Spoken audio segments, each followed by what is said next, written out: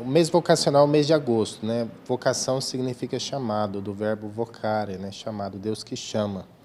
Então, a igreja, não só no Brasil, mas no mundo também, em alguns meses do ano, trabalha alguns temas específicos, como, por exemplo, o mês de maio, o mês de Maria, né? Ah, o mês de setembro, o mês da Bíblia.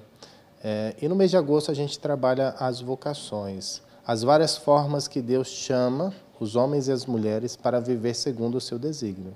Então, é, a cada domingo, a cada semana deste mês de agosto, nós vamos trabalhando algumas vocações específicas, como a vocação ao sacerdócio, a vocação à vida religiosa, a vocação do leigo e da leiga na igreja, né? a vocação dos catequistas, a vocação da vida matrimonial, entre tantas outras vocações que existem na nossa igreja. E tem algum cronograma de missas a ser seguidos? Isso. É, durante este mês, este mês de agosto, nós vamos celebrando missas em ação de graças por cada vocação. Pela vocação dos padres, né, neste primeiro domingo, e daí a gente vai trabalhando as vocações dos religiosos, que são as irmãs, os freis, né, os irmãos, a vocação do matrimônio, da família. Né? Então, a cada semana a gente tem nas Santas Missas orações específicas para estas vocações. E de modo particular, a gente reza por todas as vocações ao final de cada missa com a oração do mês vocacional que a igreja oferta para nós. E qual a importância dessa celebração? A importância é da gente não querer viver a nossa vida de qualquer maneira, mas segundo aquilo que Deus tem para nós. Atender ao chamado de Deus significa eu acredito que Deus sabe o que é melhor para mim mais do que eu.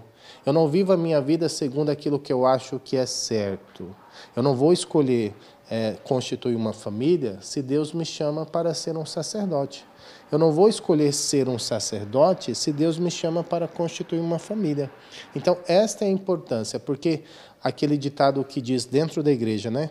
Vocação acertada é sinal de felicidade se eu acerto a minha vocação, se minha vida está alinhada com aquilo que Deus tem para mim, significa que eu estou no caminho da felicidade. Esta é a importância, porque é o caminho da felicidade, o caminho da vocação. Então, esse mês é de extrema importância para a comunidade católica. Exatamente, é um mês de extrema importância para todos nós. Todos nós temos uma vocação. Deus nos chama a alguma coisa. Nós não podemos viver a nossa vida como se Deus não existisse, como se Deus não nos chamasse a nada.